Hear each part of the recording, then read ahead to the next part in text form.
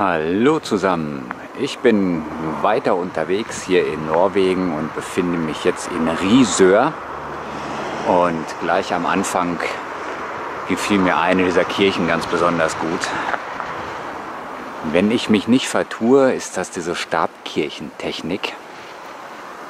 Und die ist ja hier in der Region ganz bekannt. Ich werde mir demnächst auch noch eine ganz genau anschauen, die so super duper sein soll, dass alle von schwärmen. Hier die Kirche auch mal von hinten. Die ist jetzt nicht im besten Zustand vielleicht, aber ich wäre trotzdem unheimlich gerne reingegangen. Aber ist äh, alles verschlossen. Die letzten Öffnungen waren im Juli. Und dann auch nur zu bestimmten Terminen.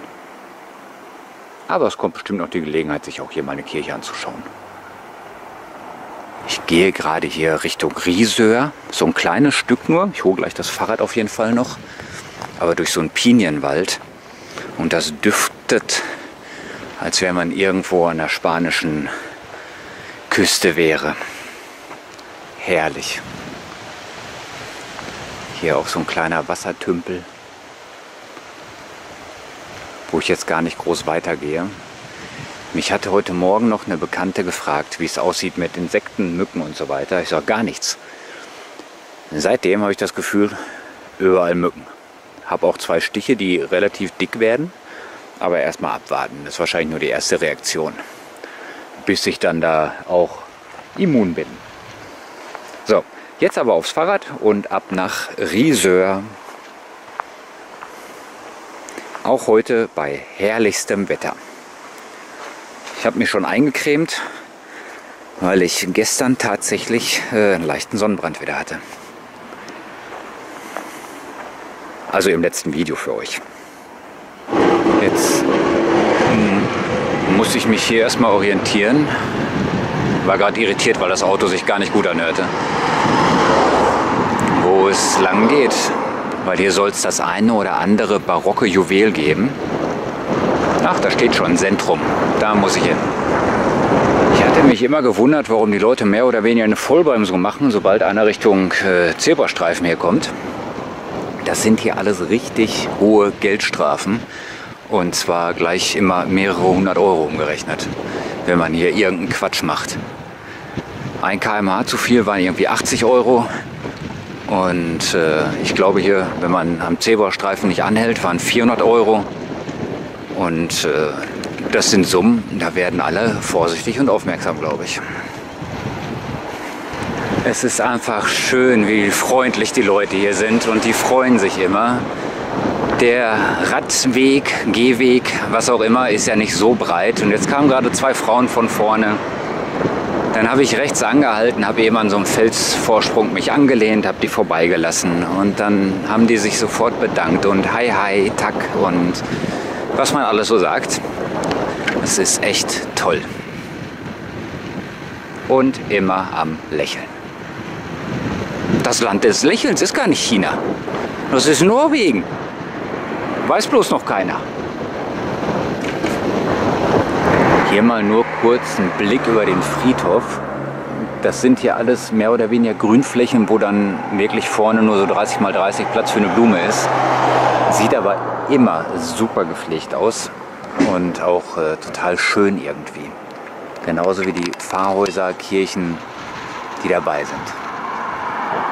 Hier geht es weiter runter Richtung Zentrum und Trehusbien.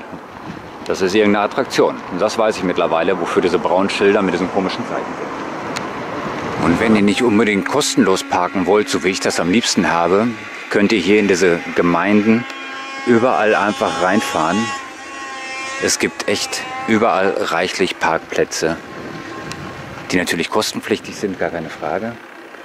Aber geben tut's die. So. Und hier geht es zum Parkplatz für Bobilär. Und Bobilär müssten Wohnmobile sein. Und der wäre dann hier. Hier an dem Parkplatz ist auch wieder so eine Pumptrack-Anlage für BMX-Fahrer hauptsächlich. Oder Dirtbikes geht auch noch. Und dort draußen am Haus ist der Wasseranschluss, um sein Frischwasser aufzufüllen. muss ich ja mal schauen, ob sich das für mich vielleicht auch noch lohnt. Ansonsten hier schöne Edelstahlbänke, die jetzt in der Sonne bestimmt sich gut aufgewärmt haben. Ein kleiner Teich.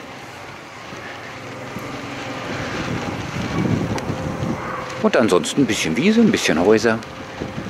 Da oben wieder die Nationalflagge, wie sie hier fast überall zu sehen ist.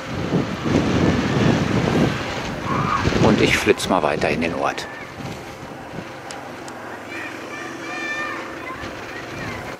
Ist das nicht schnuckelig hier alles so in diesem Weiß? Vor allem bei dem Wetter, da strahlt ja alles.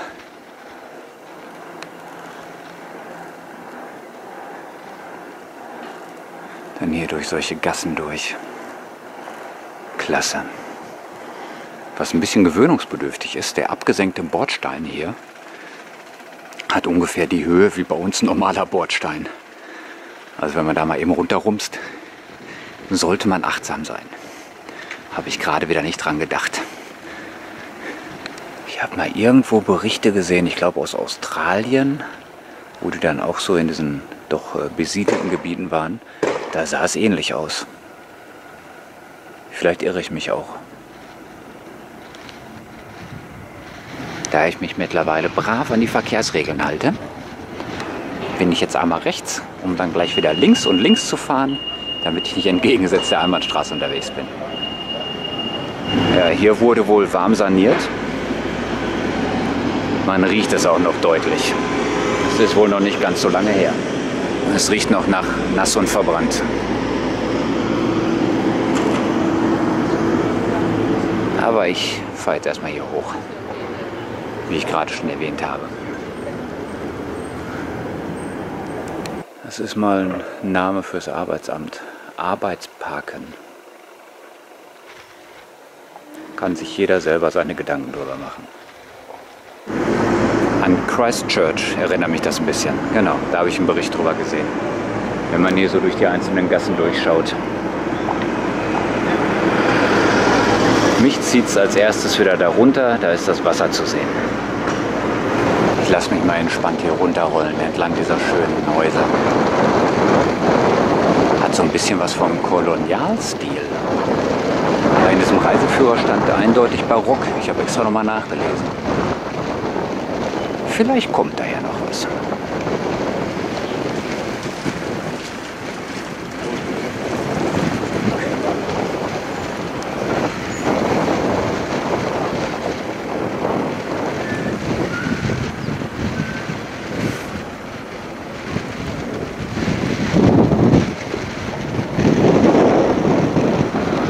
so auf keinen Fall zu fahren. Auch das Umland nicht.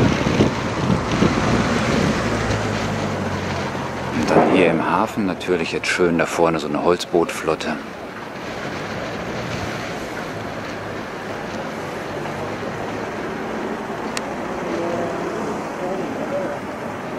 In diese Richtung geht es Richtung Fiske Market. Das hörte sich gut an, und deswegen geht es da jetzt auch lang. Ach, schaut mal hier, diese Metallfiguren.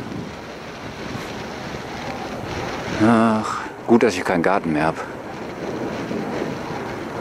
Jetzt müsste ich mir da auch noch Gedanken drüber machen.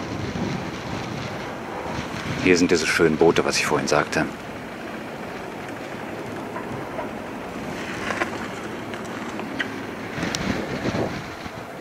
Dort ist das Risor Fischmuseum, Aquarium, wie soll ich es nennen? Soweit mir das anhand der Hinweisschilder äh, ja, möglich war, das zu entziffern.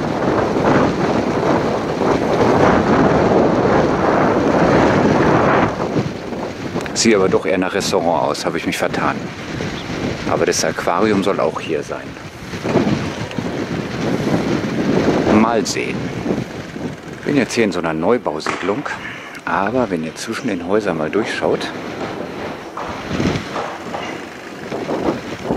mit rundum Meerblick.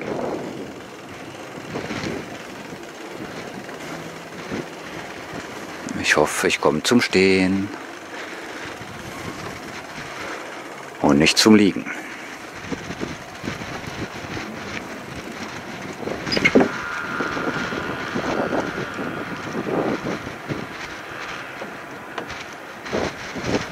Kann mir gar nicht vorstellen, dass es hier im Winter so kalt sein soll und alles vereist und schneebedeckt und womöglich noch Eisbären, keine Ahnung. Gerade nicht vorstellbar. Das hatte ich doch vorhin von der anderen Seite gesehen. Jetzt bin ich gerade schon dran vorbei. Muss ich doch mal zurück. Ach, und hier ein kleiner Sandstrand. Herrlich. Pack die Badehose aus, los geht's. Würde sich echt anbieten, wenn das Wasser nicht so extrem frisch wäre. Ja, also hier so Richtung Einfahrt sind diese Kanönchen doch gut ausgerichtet. Wer da reingekommen ist, äh, sollte sich dessen bewusst sein, was ihn hier erwartet.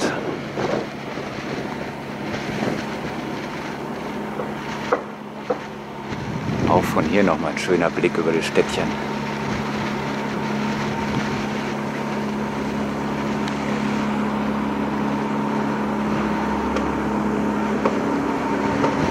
So ein kleiner Kutter und der duftet auch sehr fischig.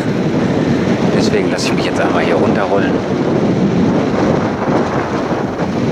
In der Hoffnung, dass mich keiner als Fischkopf bezeichnet und vom Hof jagt.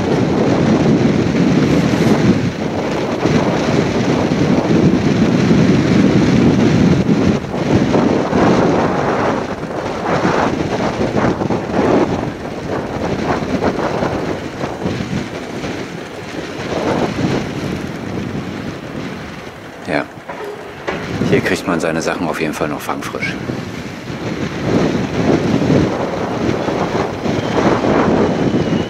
Hier nochmal von der anderen Seite dieser kleine Fischereihafen schön zu sehen. Und ich fahre jetzt entlang hier so einer Küstenstraße. Richtig schön.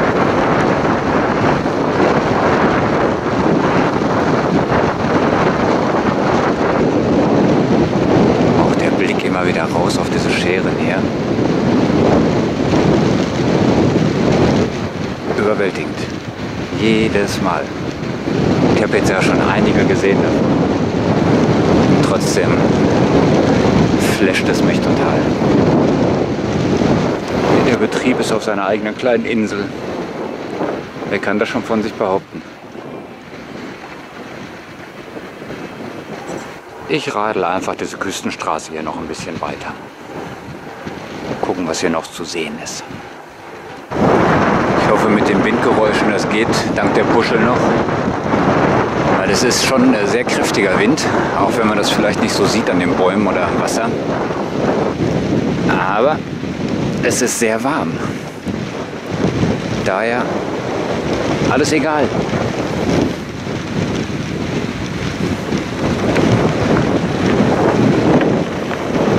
Ich weiß nicht, wie lange ich hier radeln kann. Es ist mir aber auch völlig schnuppe. Und wenn ich bis da hinten hinkomme. Ich fahre jetzt so lange, wie es äh, irgendwie heute machbar ist.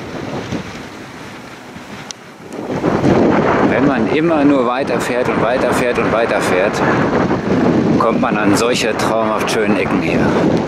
Sieht zwar gerade vielleicht ein bisschen chaotisch aus wegen den ganzen zerhackten Steinen und so weiter. Aber rundherum könnte es nicht besser sein. Mittlerweile bin ich wieder mehr oder weniger im Nirgendwo von Norwegen auf so einer normalen Landstraße unterwegs und genieße schon seit einer Stunde im Grunde diesen Ausblick. Der sich gar nicht so groß verändert, weil die Strecken ja doch schon recht lang sind hier. Ah, da kommt wieder einer mit seinem Bötchen. Die haben auch alle ihren Spaß hier.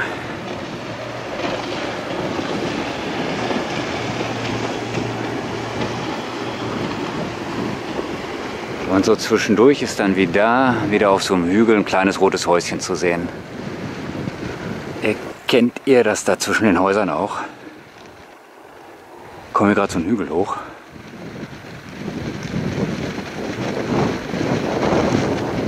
Ganz weg vom Tourismus im Grunde, denke ich. Fährt man hier so eine Küstenstraße lang. Und dann ragen da oben so zwei große Schiffe über die Häuser.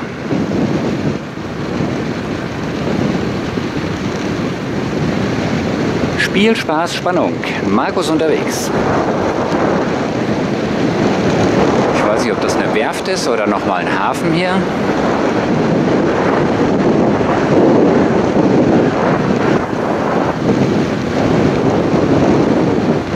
Aber es sieht auf jeden Fall vielversprechend aus.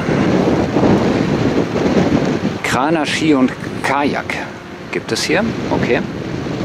Ja, ich mache die Kamera noch mal kurz aus. Dauert wohl noch ein Momentchen, bis ich dann irgendwie da direkt bei den Schiffen bin. Ja, das scheinen so ganz große Fangschiffe zu sein. Ich muss an der Seite, kommt noch ein Auto. Auf jeden Fall sehr imposant. Versucht das Ganze noch mal von der anderen Seite. Der war nicht so begeistert, dass ich da Fotos mache. Warum nur?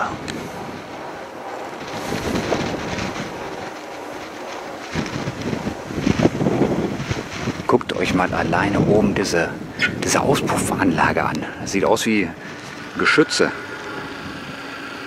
Wenn die da irgendwie mit schießen wollten. Wahnsinnsteile.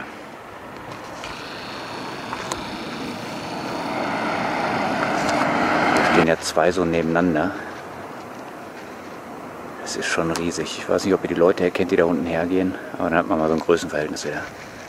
Ich habe ja gerne immer so einen Vergleich dazu.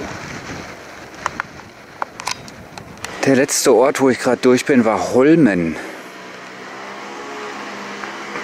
Und jetzt geht es hier wieder deftig runter. Aber die Sonne brennt sowas vom Himmel. Also gibt es überhaupt nicht. Wenn es diese Videos nicht gäbe, würden wahrscheinlich alle sagen, der war in Malle und hat in der Sonne gelegen. Ich, äh, ja, unglaublich einfach. So ein Glück immer. Nicht beschreien, weil dann geht es daneben, aber bis jetzt läuft es echt. Ich dachte, ich laufe hier gerade mal so einem Trampelpfad nach, aber hier ist ein Briefkasten. Ob es da auch zu einer Hütte geht, wäre hier nicht unüblich. Deswegen spare ich mir jetzt, glaube ich, den Rest, weil ich das Rad auch dabei habe. Und dort oben ist mal so ein richtig klassischer Wohnblock. Den habe ich bisher hier noch nirgends gesehen. Die werden wahrscheinlich bewusst irgendwo im Hinterland gebaut, wo sie keinem groß auffallen. Ansonsten radel ich hier um Kurve zu Kurve und denke mir jedes Mal, wenn du bei der nächsten Kurve nicht siehst, wo es hingeht, dann drehe ich um. Und ich glaube, hier bei der nächsten werde ich das auch mal wahr machen. Weil ich habe ja den Ort auch noch nicht komplett erfahren können. Und das will ich mir auf keinen Fall entgehen lassen. Aber mich reizt halt auch immer das drumrum. Und ohne Schweiß und Fleiß kein Preis. Ja, ich habe mich entschieden umzudrehen. Jetzt wieder so, weiß ich nicht, 10, 15 Kilometer zurück erstmal, bis ich so halbwegs am Hafen bin. Hier rechts von mir ist noch eine psychische Klinik. Habe ich jetzt ganz bewusst nicht gefilmt. Und danach äh, war immer noch nicht zu erkennen, wo es denn irgendwo hinführen könnte. Außer ein Hinweisschild, 12 Kilometer, nächster Ort. Aber das äh, will ich mir nicht antun bei den Temperaturen und dem Berg auf, Berg ab die ganze Zeit hier. Wo ich hier heute das erste Mal hergekommen bin, ist mir dieses eine Haus aufgefallen. Und zwar nicht hier dieses braune Holzfarbene, sondern das danach. Ein ganz anderer Stil, wie sonst hier üblich. Aber super schick.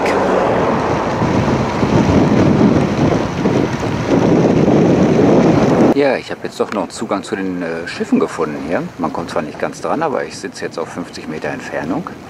Schön an so einem Holzsteg hier mit klasse Aussicht. Dort drüben auf die Küste. Ich zoome das Ganze mal ein bisschen für euch ran und versuche dann langsam zu schwenken, damit es auch gut zu erkennen ist.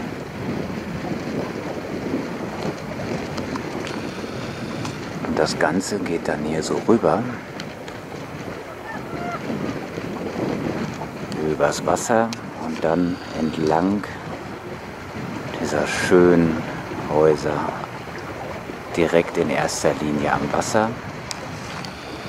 Und wenn man aus dem Zoom rausgeht, erkennt man auch das Schöne an dem Hang dahinter. Also der heutige Tag sollte der sein, der bewölkt ist und ab morgen soll es richtig gut werden. Ich schaue hier so wie auch daheim gerne morgens so ein Morgenmagazin. Daheim natürlich bei der ARD und hier beim norwegischen ersten Programm. Verstehen tue ich natürlich so gut wie nichts, aber es kommen auch internationale Nachrichten und da hört man dann auch den O-Ton aus Deutschland zum Beispiel.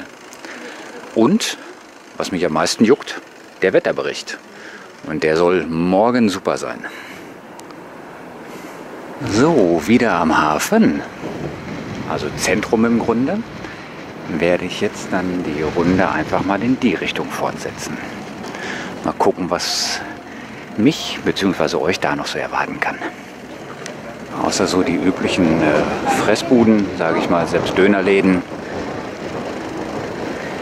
War jetzt hier auf dem ersten Stück nicht ganz so viel. Außer hier dieser Riesenanker, der mir persönlich natürlich wieder sehr gut gefällt.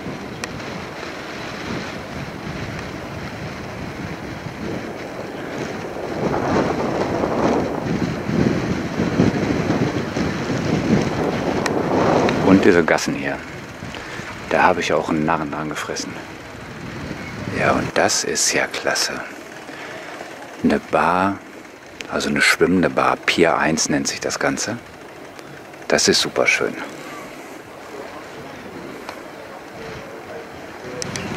Und so zieht sich das hier ein bisschen weiter mit der Außengastronomie. Nicht so schön wie das direkt auf dem Wasser, aber immer noch schön.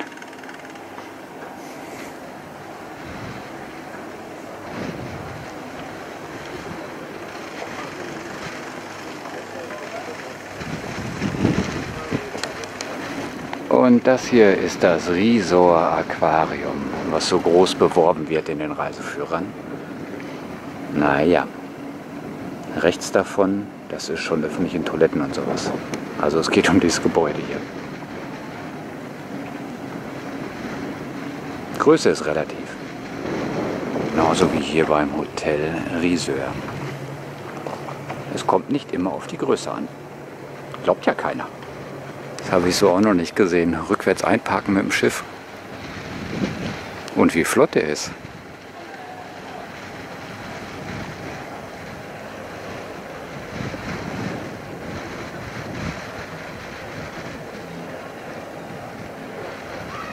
Das möchte ich mir jetzt ja noch anschauen.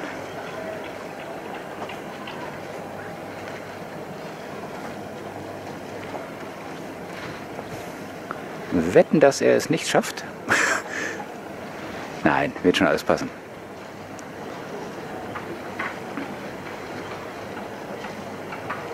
Aber ich finde trotzdem, dass der das echt flott macht.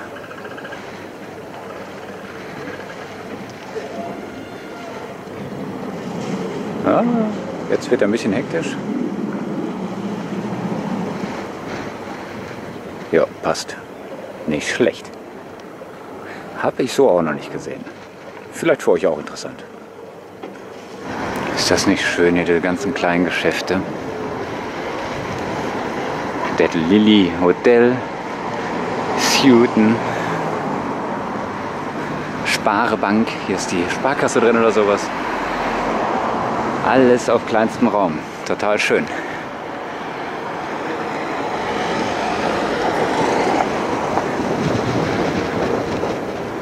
Hier auf der Seite ist Bibliothek, Kino und Theater. Alles in einem Gebäude. Jetzt bin ich in Mindalen angekommen. Und hier wird ein Fleckchen schöner als das andere. Also ich radel immer noch. Und dachte mir hier runter, das sah so verlassen aus. Das ist bestimmt eine schöne Ecke. Vielleicht auch um eine Nacht zu bleiben. Aber es ist alles Privatgrund hier. Und ich weiß nicht, inwiefern ihr das wisst, aber auf Privatgrund ist es halt absolut verboten, was ja nachvollziehbar ist, äh, da zu übernachten. Oh, hier links ist schon mit so einer schönen Allee am Eingang. Haupthaus, Nebengebäude. Ja, ist nicht immer alles klein und fein, es gibt auch groß und fein.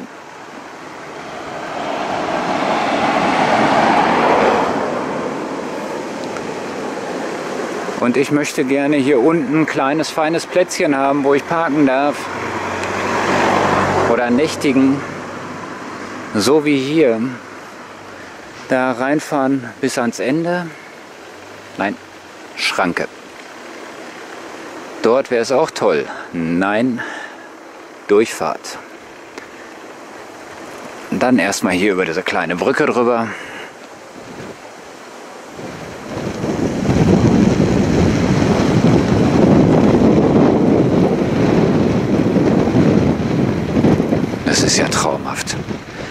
hier mal kurz halten und euch das zeigen.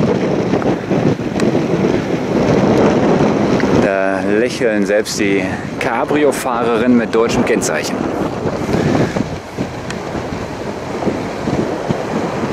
Ein toller Anblick. Ein kleines Stück rolle ich noch weiter. Es ist einfach zu schön hier. Mal eben Platz machen für die Feuerwehr. Der kam so flott über die Brücke. Aber flott können die hier alle ganz gut. Auf den Nebenstraßen. Ich warte mal, da kommt noch einer mit Anhänger. Jetzt geht's weiter. Soll ja immer noch ein Genuss bleiben hier. Und das ist es definitiv.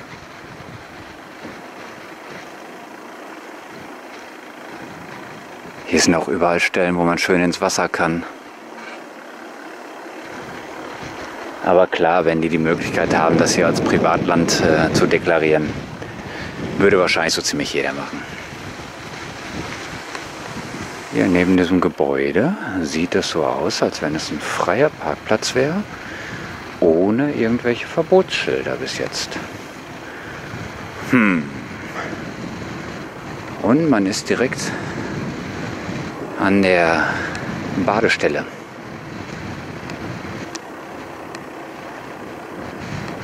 Ja, das gefällt mir doch gut.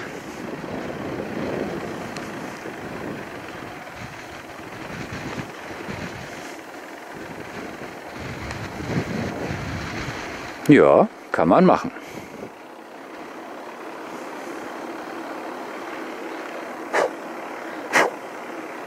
Da muss man gerade die Viecher wegpusten.